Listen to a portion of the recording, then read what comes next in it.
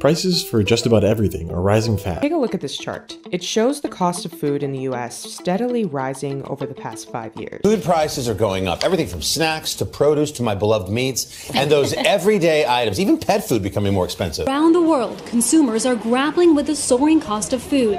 Prices now at their highest level in a decade, according to. The current energy crisis has snapped through our fragile just in time supply chain and is currently leading the way to a massive spike in food prices. Food inflation and shortages will most likely be the main news story later in 2022 and 2023. But currently, it looks like the beginning of the housing crisis, where some people were shouting their heads off that the market was about to collapse, but nobody was paying attention and didn't notice until it was too late.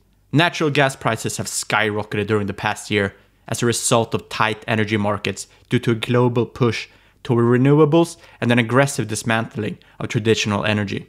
In the US, the price of natural gas increased over 50% in 2021, and Europe and Asia over 500%. And this trend is continuing into 2022, with both oil and natural gas up roughly 20% year to date. And you can watch my last video for an explanation of the current energy crisis and why we are here. The rising cost of natural gas prices has also had an impact on fertilizer prices.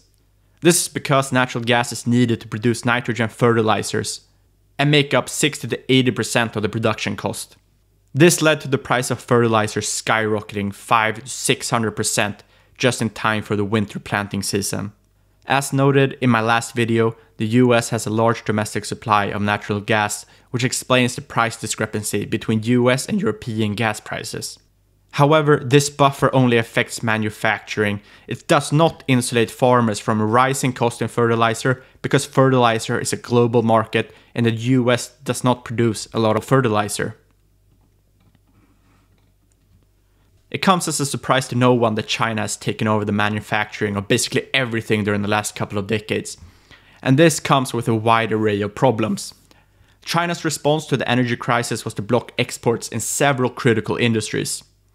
One of these was for phosphates. Phosphate is another key ingredient in fertilizer, and China represents roughly 30% of the world trade in phosphates.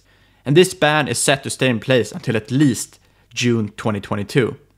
China wants to make sure that Chinese farmers have the fertilizer supply they need for domestic food production, so there isn't a food shortage that tends to cause civil unrest.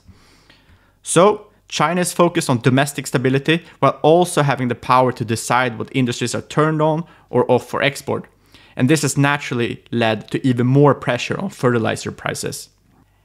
And China is not the only country resorting to halting exports of important commodities in the name of domestic stability. Russia, which supplies over 40% of Europe's natural gas, has also reduced exports of several important commodities. One of them being, yes, you guessed it, fertilizer. Resource nationalism and export restrictions make a lot of sense for the exporting countries, since domestic issues will always take precedence over international issues. But it's catastrophic for countries that rely on these exports.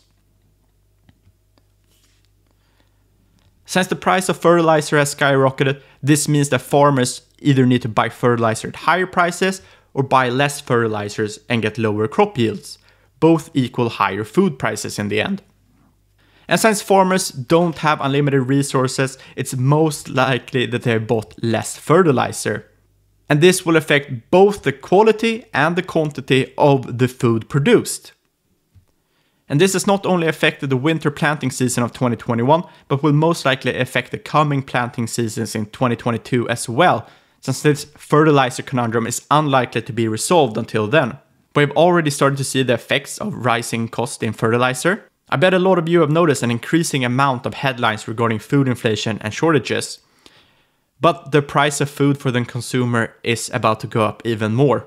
We're most likely at the beginning of a multi year process. The full effects will only start to show once we start yielding crops that were planted during seasons affected by skyrocketing natural gas and fertilizer prices. Supply and demand underpin the markets for crops and food and have complex and unpredictable variables such as weather risk, geopolitical risks, supply chain risks, and energy prices. But in the end, less food available equals higher food prices. And fertilizer is crucial to growing crops like soybeans, corn, and wheat at scale to feed a global population. Not only do we eat these crops ourselves, but we also use them to feed our livestock. So it's not far fetched to see how a rise in natural gas prices has a ripple effect across the entire global food supply chain.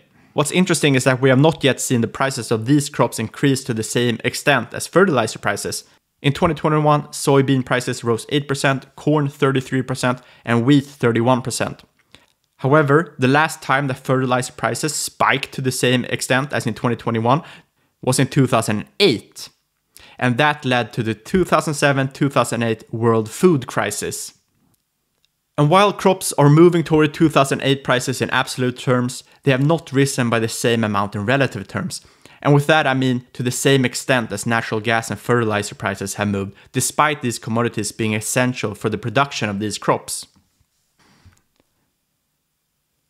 While natural gas is a key commodity in fertilizers, it actually has a lower correlation to food prices than oil. US natural gas prices have a relatively weak positive correlation with soybeans, corn, and wheat. However, oil has a very strong positive correlation. This is because oil is used to fuel equipment and transportation and is also used for pesticides and chemicals for growing and production. With oil prices rising rapidly due to a supply shortage and an increased inflationary outlook for oil in the coming years, with many analysts calling for $150 per barrel of oil or even higher, there's a very strong likelihood that we will see sustained high food prices. However, it seems like the futures markets are not pricing in any significant price increases for the food crops. And to me, this does not make sense given all the above listed macro factors of higher energy prices, resource nationalism, supply chain disruption, and affected planting seasons. It looks like the perfect setup for structurally higher food prices, although this will take some time to develop. With surging energy prices driving inflation in major economies to multi decade highs and catching central bankers off guard, the next source of pressure will come from food prices. Food has a much larger weighting in the CPI, the Consumer Price Index, which measures inflation, than energy does, and particularly so in emerging market economies. It's in food prices where the seeds of the next crisis may already be sown, because high energy prices are likely to have strong second round effects on food.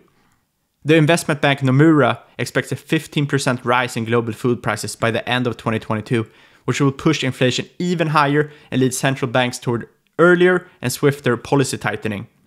A lot is pointing to a very challenging situation moving forward regarding agricultural commodities and food prices, and I wonder how leaders who up until now have doubled down on their energy policies will react when the wider population start noticing that food is becoming prohibitively expensive.